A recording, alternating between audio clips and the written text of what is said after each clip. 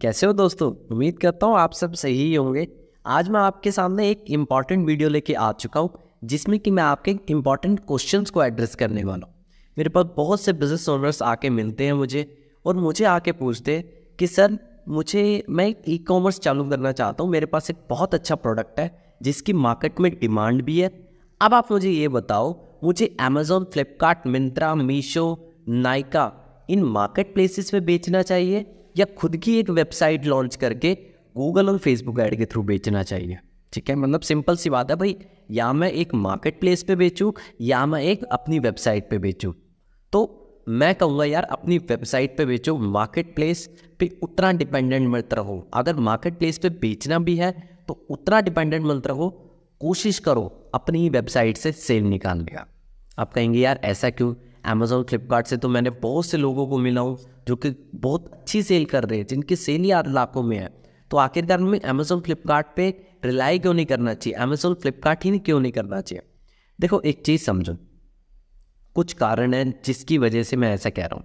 पहला कारण अमेजोन फ्लिपकार्ट मिंत्रा मीशो या कोई भी ऐसा प्लेटफॉर्म आप जो देख रहे हो मार्केट प्लेस अगर आप देख रहे हो, उनकी कमीशंस हैवी होती है। बीस बीस परसेंट तक कमीशन होती है। यानी कि अगर सौ रुपये का प्रोडक्ट है ना कोई अमेजोन पे, बीस रुपये तो अमेजोन के जा रहे हैं। तो पहली बात है, कमीशन बहुत ज़्यादा हैवी है इन मार्केट प्लेसेस की। तो कमीशंस के कारण मैं हमेशा बोलता हूँ, इनको प्रेफर मत करो, ठीक है? दूसरा दूसरा इंपॉर्टेंट कारण है एडवर्टाइजिंग अगर आपको इन प्लेटफॉर्म से अपने प्रोडक्ट को टॉप पे दिखाना है, माने कि कोई बंदा अमेजोन पे सर्च करे टी शर्ट्स आपकी टी शर्ट्स टॉप पे आए। तो अमेजोन हमेशा अपनी जो पेड एडवर्टाइजिंग होती है अमेजोन के अंदर भी अमेजोन एड्स चलती है, उन्हीं को टॉप पे दिखाएगा। तो यानी कि आप एक तो आप बीस परसेंट भी दे रहे हो, ऊपर से आपको एडवर्टाइजिंग अगर अमेजोन पर टॉप पे आ रहा है, उसके लिए भी आपको पैसे देने पड़ेंगे। तो मतलब आप ये लगा लो, तीस एक परसेंट तो सिर्फ़ और सिर्फ़ आपका कमीशन या एड्स में ही चला जाएगा। तो बाकी क्या? ठीक है? तीसरा इंपॉर्टेंट फैक्टर जो कि मोस्ट इंपॉर्टेंट है, जिसके कारण से मैं अमेजोन फ्लिपकार्ट को मना कर रहा हूँ, वो है आपका अमेजोन फ्लिपकार्ट मिंत्रा या कोई भी मार्केट प्लेस आपसे कस्टमर के डेटा को शेयर नहीं करता है।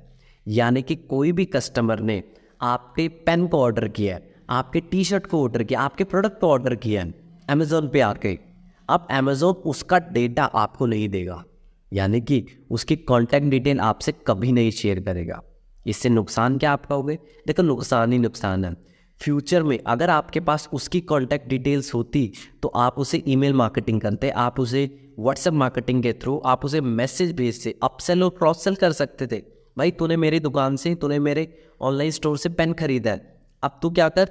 अब मैंने एक और नया पेन लॉन्च किया जो कि इससे बहुत सुपीरियर क्वालिटी का है। एक बार ट्राई करके देख लें। अपसेल और क्रॉस सेल पॉसिबल है? बिल्कुल नहीं पॉसिबल है। अमेजोन फ्लिपकार्ट के साथ। या कोई भी मार्केट प्लेस के साथ, ये सबसे बड़ा मुझे डिसएडवांटेज लगता है इन मार्केट प्लेसेस का। ठीक है? इसके कारण। एट लास्ट एक और इंपॉर्टेंट पॉइंट मतलब जो मैंने जनरली देखा है, मैंने कोई भी ऐसा बंदा नहीं देखा जो अमेजोन फ्लिपकार्ट से करोड़ों में सेल कर रहा हूँ या फिर वो एक बल्क में सेल कर रहा हूँ। ठीक है? यानी कि मैंने अब तक जितने भी लोगों से मिला हूँ, चार, पाँच, दस, बीस लाख अमेजोन से पर डे हो सकता है इससे कई लोग ज़्यादा भी करते हो बट एक लिमिट होती है। मार्केट प्लेस पे सेल करने की एक लिमिट ही होती है। ठीक है? मार्केट प्लेस ऐसा नहीं कि आप मार्केट प्लेस से सौ करोड़ पर डे भी करने लग जाओगे। स्केल की एक लिमिट होती है। बट खुद की वेबसाइट से कोई लिमिट नहीं। आप कितना भी परसेंट स्केल कर दो। ठीक है? तो ये सबसे बड़ा मुझे एडवांटेज लगता है अपनी वेबसाइट का। अपनी वेबसाइट से आप कितने भी परसेंट सेल कर दो। एक एट लास्ट एक और इंपॉर्टेंट पॉइंट मैं कहूँगा ब्रांडिंग पर्पज़ के लिए। अगर आप एक अच्छी ब्रांड बनाना चाहते हैं, एक ऐसी ब्रांड जो लोगों के दिमाग को छू जाए तो हमेशा कोशिश करो अपने नाम पे। जब भी आप अपना प्रोडक्ट बेचो, अपने नाम के साथ अपना प्रोडक्ट बेचो, अपनी वेबसाइट के साथ अपना प्रोडक्ट बेचो। क्यों? यार, आप जब भी किसी वेब अमेजोन से आपने पेन खरीदा टी शर्ट खरीदा, आप किसी को जाके क्या बोलते हैं? यार, मैंने अमेजोन से पेन खरीदा है अमेजोन से ये खरीदा है। पर जब किसी ने आपकी वेबसाइट के थ्रू पेन या टी शर्ट्स खरीदी हो वो क्या कहेगा मैंने यार एक्स वाई जेड ब्रांड का क्या खरीदा? टी शर्ट खरीदा। तो ब्रांडिंग पर्पज से सबसे ज़्यादा इंपॉर्टेंट है। आप अपनी ही वेबसाइट से बेचो, अपने ही गूगल और फेसबुक पे एडवर्टीजमेंट करो। जो तीस परसेंट आप किसको दे रहे हो? तीस परसेंट आप अमेजोन फ्लिपकार्ट इन सबको मार्केट प्लेसेस को दे रहे हो अपने प्रोडक्ट को टॉप पे दिखाने का लिस्टिंग करने का कमीशंस का। यार वही आप अगर गूगल और फेसबुक पे एडवर्टीजमेंट करोगे तो आपको उससे ज़्यादा रिटर्न मिलेगा। ठीक है? यानी कि अगर आपका प्रोडक्ट हज़ार रुपये का सीधा सीधा तीन सौ के आसपास रुपये तो कौन खा जाएगा अमेजोन खा जाएगा कमीशन और एड्स में ठीक है? और उसके बाद आपको देगा। अब उसमें भी आपको सारी चीज़ों का देखना है लॉजिस्टिक्स देखना है, उसके बाद आपको पेमेंट का देखना भाई, आपको मैन्युफैक्चरिंग कॉस्ट देखनी है, सारी चीज़ देखनी है। कैसे पॉसिबल है? पॉसिबल नहीं है। और उसमें अगर दो तीन लोगों का अगर आर आ जाए तो समझ लो लंका ही लग जाए ठीक है? तो हमेशा बोलता हूँ फेसबुक और गूगल पे फोकस करो। गूगल से यार मतलब आज के टाइम में फेसबुक एडवर्टीजमेंट सबसे बेस्ट है। फेसबुक से ई कॉमर्स के दुनिया भर की दुनिया सेल निकाल रही है। तो फेसबुक पे एडवर्टीजमेंट रन करो गूगल पे एडवर्टीजमेंट रन करो।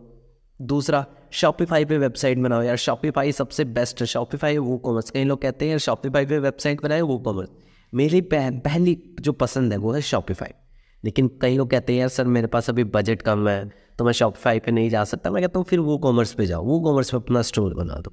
ठीक है, लेकिन स्टार्ट तो करो। अगर अभी स्टार्ट नहीं करोगे, कब करोगे? जब सारी जनता करने लग जाएगी।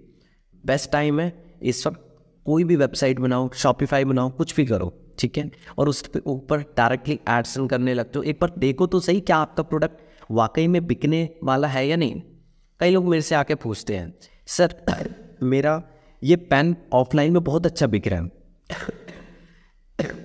क्या ये ऑनलाइन में भी अच्छा बिकेगा? इसके ऑनलाइन में आप क्या सेल एक्सपेक्ट कर रहे हो? मैं कहूँगा यार मैं ज्योतिषी से हूँ नहीं तेरा ऑफलाइन में अच्छा बिकता है। ऑनलाइन में भी लोग ले इसकी क्या गारंटी है? मुझे ये तो बताओ। भाई ऑनलाइन की कोई गारंटी नहीं है। सबसे पहले टेस्ट तो करूँ मार्केट में क्या ये पेन की एक्चुअल में डिमांड है या नहीं? जो चीज़ ऑफलाइन बिकती है वही चीज़ ऑनलाइन बिकी ये ज़रूरी नहीं है। ध्यान रखना। ठीक है? बहुत से लोगों से मैं मिलता हूँ। सर, मेरा तो ये पेन सबसे बेस्ट है, मैं तो इसे ही ऑनलाइन बेचूँगा। मैं कहूँगा, यार, ये आपको लगता है। कस्टमर को ऑनलाइन एक बार देखो तो सही, क्योंकि ऑफलाइन में हो सकता है आप ये बीस रुपये का बेचो। बट यही पेन, आप ऑनलाइन में बीस रुपये का नहीं बेच सकते भाई। आपको बहुत सारी चीज़ों का देखना है। आपको आपको बेसिकली ये देखना है प्रॉपर आपको एक डिसेंट मार्जिन रखना पड़ेगा। पेमेंट गेट पे फ़ीस होती है शिपिंग फ़ीस होती है, और भी दुनिया भर के खर्चे होते हैं वेबसाइट मेंटेनेंस फ़ीस होती है। दुनिया भर के खर्चे होते हैं। और ऊपर से कहीं आंडियो आ जाए, कहीं वो आपके सर ना पड़ जाए तो डिसेंट आपको प्राइस रखना पड़ेगा। मेरे से पूछते हो यार, हम कौन सा प्रोडक्ट बेचें? मैं कहता हूँ यार, कोई भी प्रोडक्ट बेचो बेचो बट मिनिमम कोशिश करना 600-700 रुपए के आसपास ही हो। इससे कम वाला प्रोडक्ट मैं प्रेफर नहीं करता हूँ, ठीक है? क्योंकि यार देखो 600-700 से कम का प्रोडक्ट है। पहली बात मार्जिन उनमें बहुत कम होगा।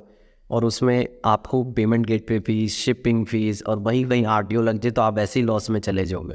तो इसलिए कोशिश करो 600 से 700 रुपए का एक डिसेंट प्राइस रखो और मिनिमम 30 से 40 परसेंट का तो मार्जिन रखो ही रखो। आफ्टर डिडक्शन आप ये लगाओ आ, आप मतलब डिडक्शन का क्या मतलब है? शिपिंग और payment gateway fees cut जाए। 30 से 40 परसेंट का मैं एक डिसेंट मार्जिन लेके चलता हूँ। अगर आज मैं खुद का एक ई कॉमर्स चालू करूँगा। ठीक है? तो ये रहे आपके कुछ इंपॉर्टेंट सवाल। जो कि मैंने आज एड्रेस की हो सकता है आपको कुछ पसंद आए हो सकता है आपको अब आपके बहुत सारे सजेशंस हो सकते हैं कि मुझे क्या करना चाहिए मुझे अपने बिज़नेस में क्या इंप्लीमेंट करना चाहिए। आप कमेंट बॉक्स में बता सकते हो नहीं तो मेरे से पर्सनली कनेक्ट कर सकते हो। अगर आपको कोई सजेशन चाहिए कोई बिज़नेस के रिलेटेड आप चा, आपको चाहिए कि भाई मैं आप किस पे वेबसाइट बनाऊँ मुझे एडवर्टीजमेंट में हेल्प चाहिए तो आप मेरे से कॉन्टैक्ट कर सकते हो। आज के लिए फ़िलहाल हम इतना ही रखते हैं।